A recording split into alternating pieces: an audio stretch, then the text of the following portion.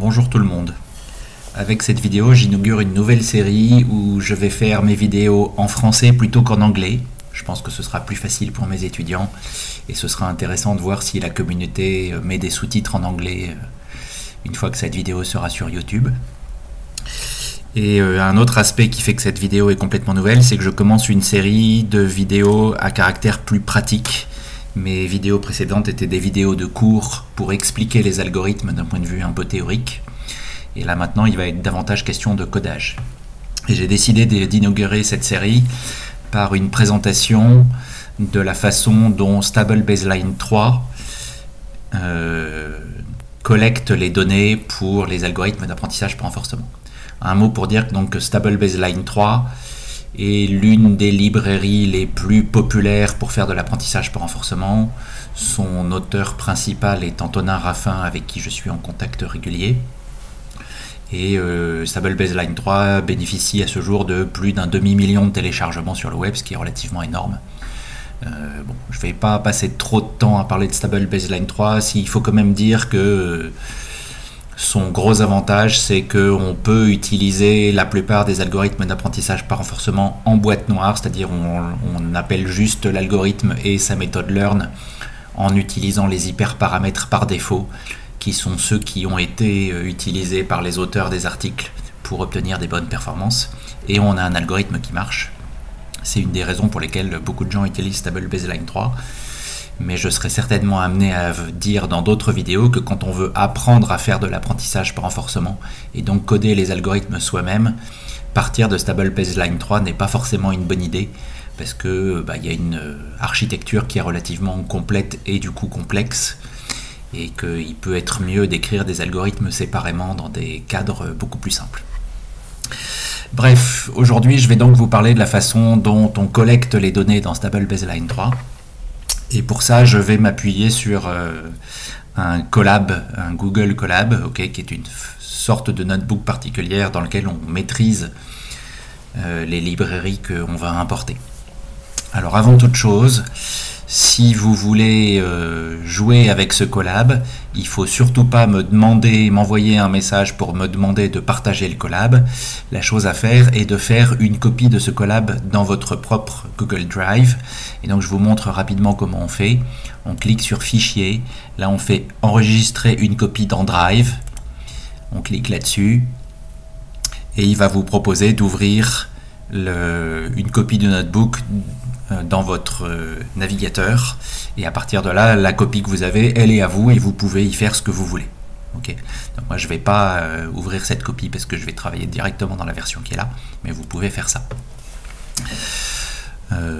Voilà. Donc ce qu'on va voir aujourd'hui d'abord c'est on va partir de la boucle fondamentale d'interaction entre un agent et un environnement qui permet de définir l'apprentissage par renforcement et puis on verra comment on va être conduit pour réaliser Stable Baseline 3 à enrichir petit à petit cette boucle en rajoutant des éléments supplémentaires.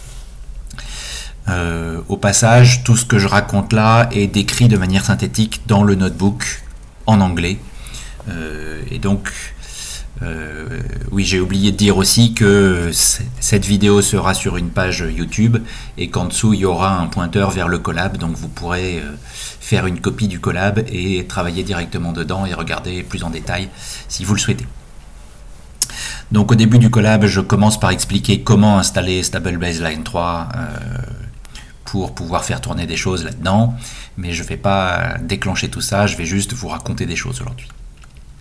Donc la boucle principale d'interaction de l'apprentissage par renforcement, elle est euh, décrite avec ce schéma qui est standard, que j'ai légèrement modifié par rapport à la version qu'on trouve dans le, livre de Sutton et de Bartow. Donc on a un agent d'apprentissage par renforcement qui a une politique qu'on note généralement pi, qui prend en entrée un état, et cette politique, elle prend en entrée un état et elle va proposer des actions. Et puis on a un environnement qui reçoit des actions d'un agent et qui, à la suite de ces actions, va envoyer à l'agent quel est son nouvel état et quelle est la récompense qu'il va recevoir. Et donc on a une boucle comme ça qui permet à l'agent de se déplacer dans l'environnement, enfin c'est pas toujours un déplacement, mais enfin d'agir dans l'environnement et de recevoir des récompenses. Et l'objectif de l'agent, c'est de maximiser les récompenses qu'il va recevoir. Pour implémenter cette boucle, on va avoir besoin de plusieurs choses. D'abord, on va devoir définir un environnement. Et pour ça, l'approche standard en apprentissage par renforcement depuis quelques années, c'est d'utiliser une interface bien spécifique qui est définie par OpenAI Gym. Donc on va définir ce qu'on appelle des, environnements Gym. Donc les environnements Gym, ils suivent une interface euh, bien précise que vous pourrez aller regarder en cliquant sur ce lien. Je ne vais pas le faire dans cette vidéo. Qu'est-ce qu'on trouve dans cette interface? On trouve une méthode reset qui va vous envoyer l'observation, je vais dire de manière un peu indifférente, l'état ou l'observation. Mais souvent l'observation c'est quelque chose de plus riche qu'un état au sens de la robotique. Bon, je ne vais pas détailler. Donc souvent on a une ligne ops égale reset. Et puis on a une méthode step qui dit euh, je vais faire un pas de mon environnement en prenant en paramètre une action. Et cette méthode step va me renvoyer l'état suivant, la récompense immédiate. Elle va me dire si l'épisode que je suis en train de réaliser est terminé avec une variable qui s'appelle done.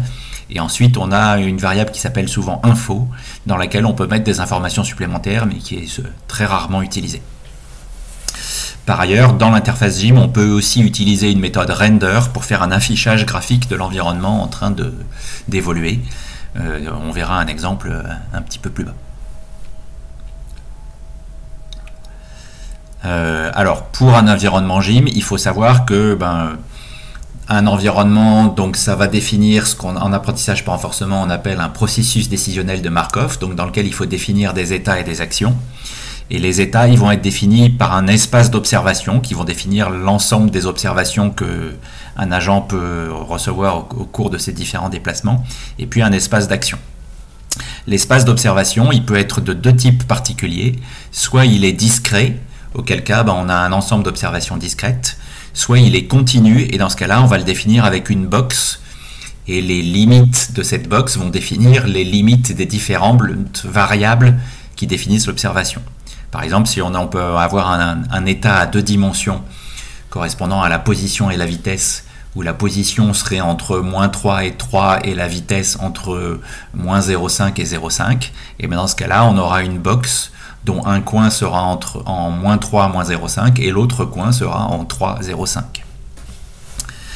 Euh, l'espace d'action, là aussi, ça peut être discret ou continu. Euh, donc pareil, on va utiliser un discrete ou un box. Et euh, voilà, ça va faire une vraie différence du point de vue de l'apprentissage par renforcement, selon que vous traitez un problème à action discrète ou à action continue.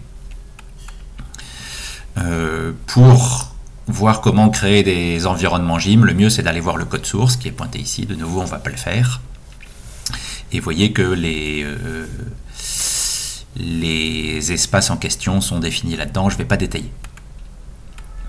Pour récupérer un environnement GIM, il suffit de faire import GIM. Alors évidemment, il faut avoir installé la librairie GIM sur votre machine euh, en pratique. Mais là, on va, si vous cliquez sur cette cellule, vous allez importer GIM directement dans votre collab. Donc voilà comment, grosso modo, on fait des environnements. Vous pourrez lire le texte qui vous décrit des choses de façon un petit peu plus détaillée. Et maintenant, on va regarder comment est-ce qu'on va faire pour euh, construire des agents. En fait, dans Stable Baseline 3, un agent, il va être décrit par le nom de l'algorithme qu'il utilise. Donc un agent, vous allez avoir un agent PPO ou A2C, SAC, TD3, DQN, etc., etc. Il y en a un certain nombre d'autres.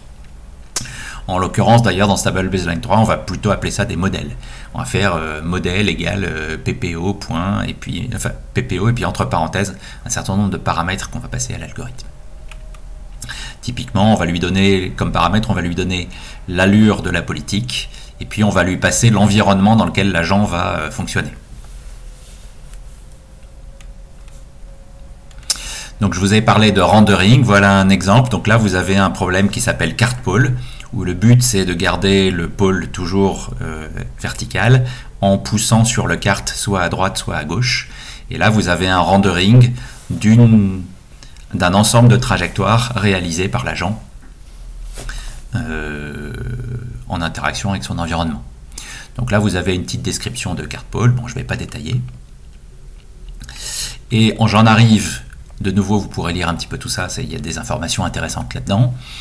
Mais j'en arrive au point euh, central de cette vidéo qui est la boucle d'interaction principale. Donc comment est-ce qu'on va faire pour évaluer un agent en interaction avec son environnement? Bah, Vous allez voir que c'est relativement simple. Donc je vais définir une fonction que j'appelle evaluate agent. Je vais lui passer un agent qui va être un algorithme de, Stable Baseline 3. Tous les algorithmes héritent de Base Algorithm, donc le type que je passe, c'est Base Algorithm. Je vais lui passer un environnement qui sera un environnement GIM. Et puis je vais lui demander, je vais lui spécifier si je veux que mon agent fonctionne de manière déterministe ou de manière stochastique. Et là, vous voyez que par défaut, je le propose en stochastique. Bon. Et la boucle d'interaction, elle est toute simple. Donc je commence par récupérer une première observation en faisant env.reset. Je vous ai défini que ça faisait dit que ça faisait partie de l'interface euh, GIM de base. Je vais dire que j'ai pas encore terminé, donc donne égale false. Je vais mettre à zéro la somme des récompenses que je vais recevoir au cours de mon apprentissage, puis ensuite je vais en ajouter, et je vais dire tant que j'ai pas terminé, while not done? Je vais faire mon action, c'est la prédiction, en fait, je vais demander à mon agent de prédire une action étant donné une observation et euh, un booléen qui dit s'il doit faire une prédiction déterministe ou stochastique. ok et alors remarquez au passage, ça c'est important, qu'en fait la méthode predict, elle renvoie deux choses, l'action et une autre chose, mais cette autre chose on n'en a pas besoin dans cette boucle donc on l'ignore. Mais si vous écrivez juste action égale agent.predict, ce qui est une faute qu'on fait classiquement au début, bah vous allez avoir un problème. D'où le assert qui est fait ici, qui vérifie que ce qu'on récupère dans action, c'est bien juste la valeur d'une action et non pas une paire avec deux variables. Donc je fais action égale agent.predict, ok. Et ensuite, dans la deuxième, dans le deuxième, dans la deuxième, euh, instruction de ma boucle, je vais dire ops reward donne info égale env.step. Donc qu'est-ce que ça fait ça? Ça transmet l'action à mon environnement qui fait un pas. Et mon environnement, après avoir fait un pas, me transmet la nouvelle observation, la récompense correspondant à l'action que je viens de réaliser dans l'état courant, est-ce que l'épisode est terminé, et éventuellement une info que souvent je ne vais pas utiliser. Je vais ajouter ma récompense à ma récompense, et je vais continuer comme ça, jusqu'à ce que mon, environnement me renvoie donne égale true. Et quand donne égale true, je sors de la boucle et je renvoie la récompense totale. Vous voyez, c'est très très simple. Ça s'écrit en euh, une, deux, trois lignes de code si je compte l'accumulation de la reward. Comment est-ce que je peux utiliser cette ligne de code? Et eh ben voilà comment on fait. Euh, donc on peut créer un environnement gym en faisant env égale gym.make et puis on passe le nom d'un environnement, donc c'est une chaîne de caractères. Vous en avez une liste prédéfinie que vous pourrez trouver assez facilement. Je ne vais pas détailler ce point-là euh, aujourd'hui. Puis ensuite, vous le créez un agent. Donc par exemple, là, je crée un agent PPO avec une euh, politique, un multilayer perceptron. Donc en fait, un réseau complètement connecté qui fait du forward de la couche d'entrée vers la couche de sortie. Je lui passe aussi l'environnement que j'ai créé.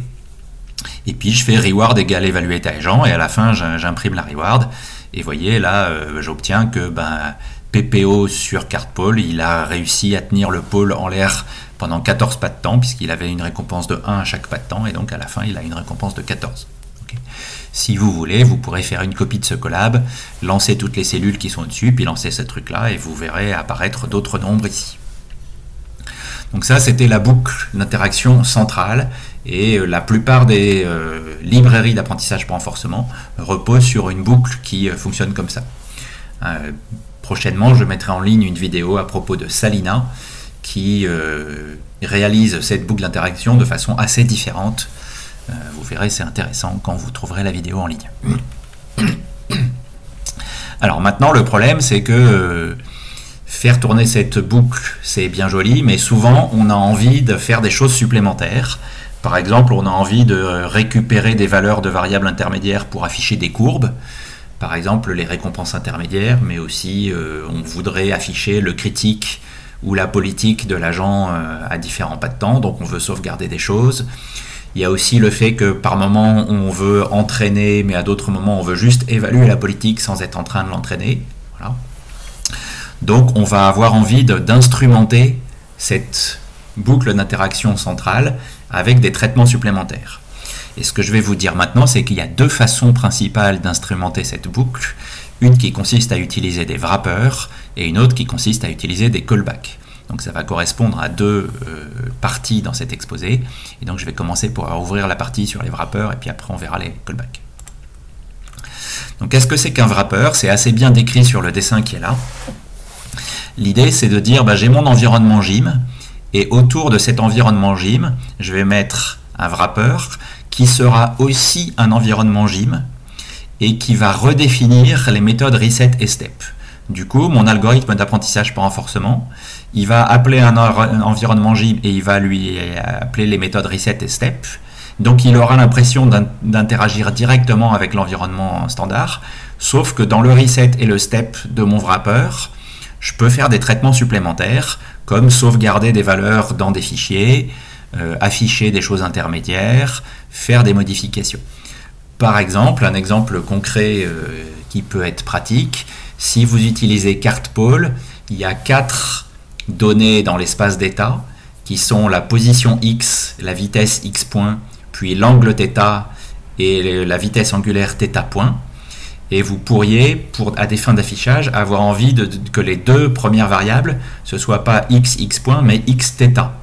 Dans ce cas-là, ce que vous pouvez faire, c'est que dans votre méthode reset et dans votre méthode step, vous allez prendre l'état renvoyé par l'environnement gym et vous allez inverser les features. Voilà le genre de choses que vous pouvez faire.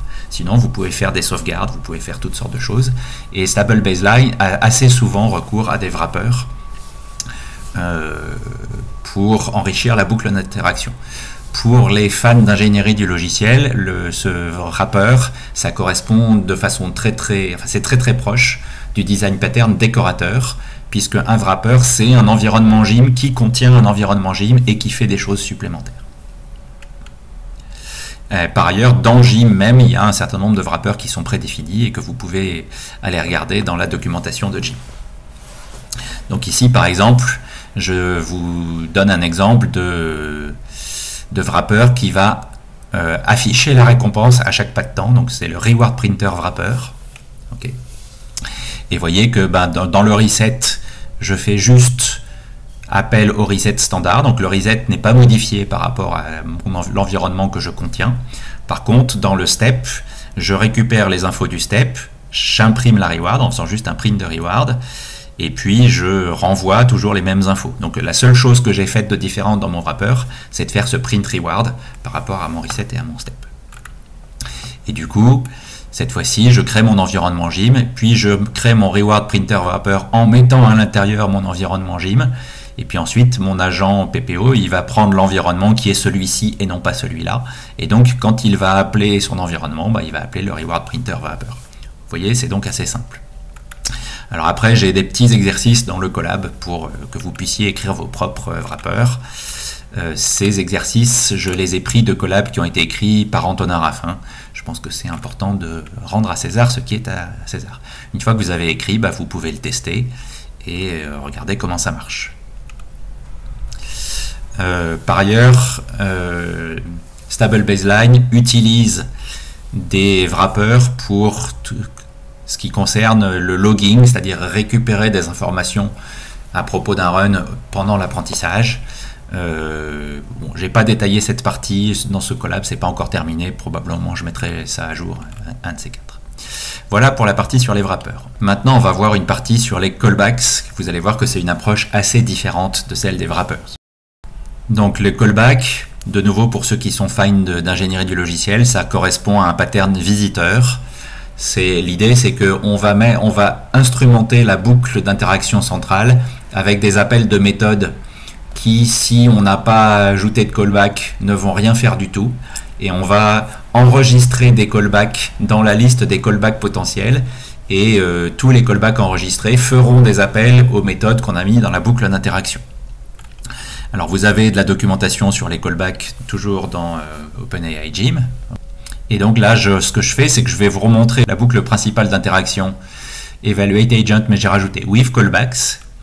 Et voyez, si on regarde le code précédent, ici j'ai rajouté un callback.onStep qui dit que à chaque pas de temps, eh ben, je vais appeler la méthode onStep de mon, de mon callback.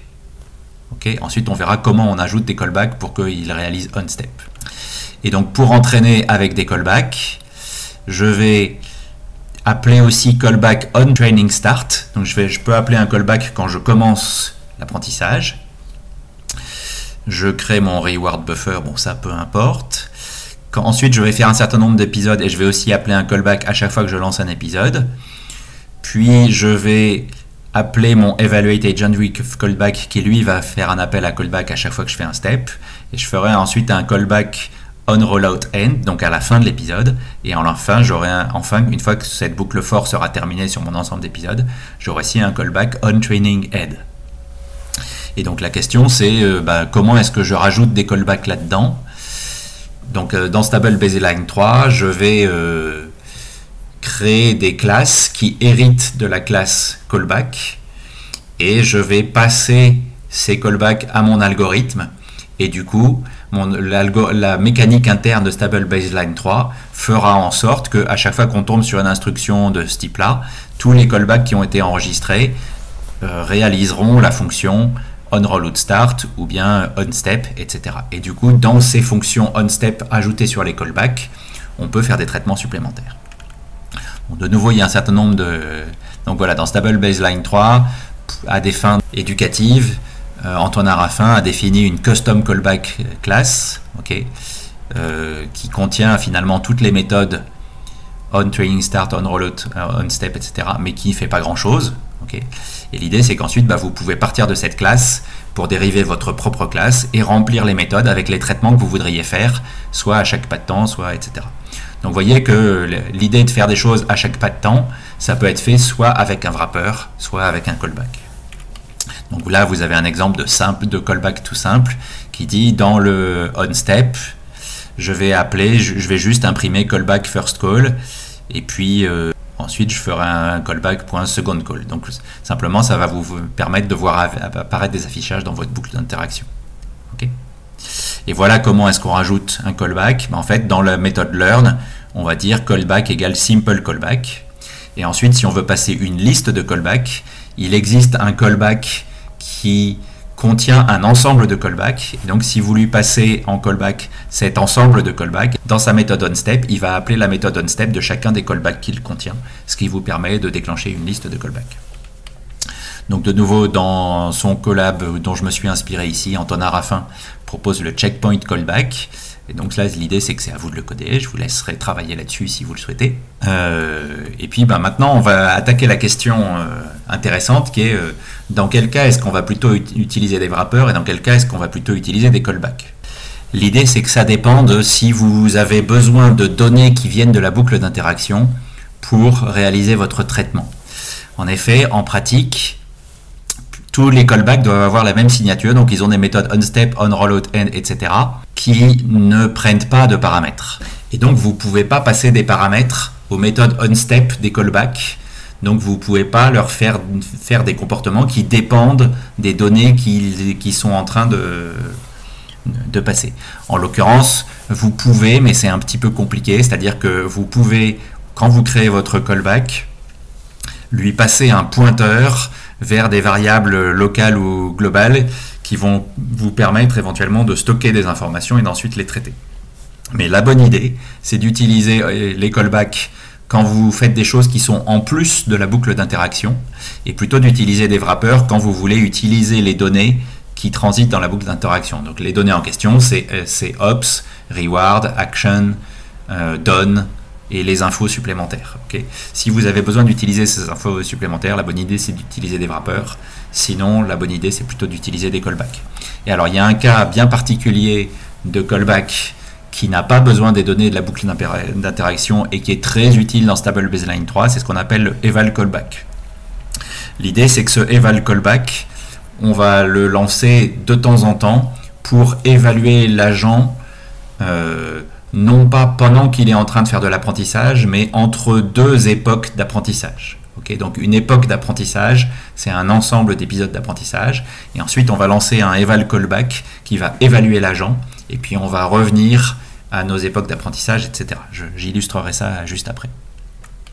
Donc Le wrapper modèle, il est un peu plus facile à utiliser parce qu'il récupère les données de la boucle d'interaction. Et d'autre part, il a un avantage qui est qu'il ne demande pas de code supplémentaire dans la boucle d'interaction. Ceci dit, il y a des fois où on a envie d'avoir des choses qui correspondent à des callbacks et donc on a quand même envie de rajouter ces, euh, ces informations, enfin ces méthodes on-step, etc. supplémentaires, même si ça ralentit un tout petit peu le code. Maintenant qu'on a vu les wrappers et les callbacks, on peut euh, comprendre un petit peu mieux comment ça marche dans Stable Baseline 3 pour récupérer les données. Alors l'idée c'est que les données dans les algorithmes d'apprentissage par renforcement, souvent on va les stocker dans des buffers. Et euh, pour ce qui est de Stable Baseline 3, en fait il a une hiérarchie de buffers. Il y a une classe de base qui est le base buffer, et puis on a le replay buffer qui est utilisé essentiellement par les algorithmes off policy, pardon, en particulier donc les algorithmes acteurs critiques que sont euh, DDPG, TD3, soft acteurs critiques, etc.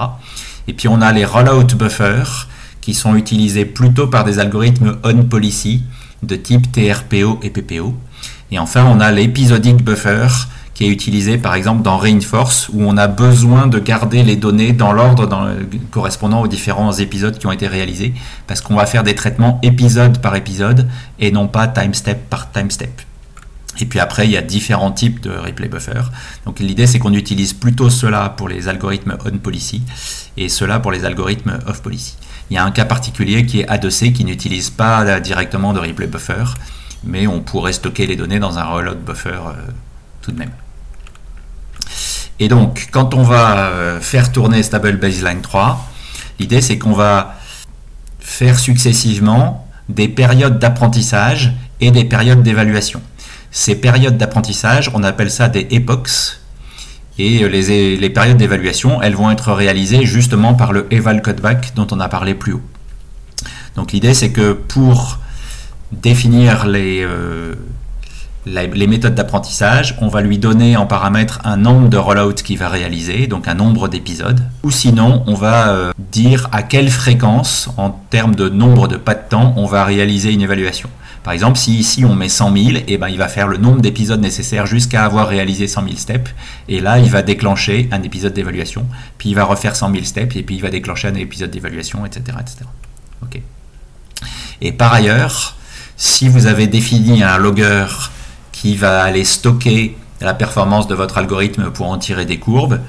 Dans votre logger, vous allez définir une variable qui est le log intervalle qui dit pendant l'apprentissage, tous les combien de steps est-ce que je, réalise, je récupère une information. Voilà pour cette vue d'ensemble de la faction dont fonctionne la collecte des données dans Stable Baseline 3. Et donc ce qu'on a vu, c'est la boucle d'interaction principale, la notion de wrapper Jim qui permet de rajouter des traitements supplémentaires, la notion de callback qui permet de rajouter des, traitements supplémentaires entre les épisodes d'évaluation, en particulier pour les val callback, et puis la façon dont Stable Baseline 3 collecte les données dans différents types de buffers et à quel rythme. Merci pour m'avoir écouté.